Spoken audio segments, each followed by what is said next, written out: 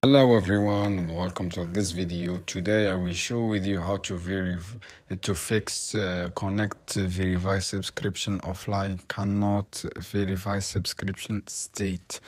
So guys if you are offline and not connected to the internet and you see following the launch your creative creative cloud app and follow this step and we are unable to verify your subscription state because since you are were last online and connected Adobe server and the local time or, or system clock has changed unexpectedly. What's mean guys? If you want to fix this error check your network connectivity. This is first step. And after that guys go to stop your system clock from sensing from synchronization and go to your panel control panel. After go to control panel go to your date and time and click on internet and click on change setting.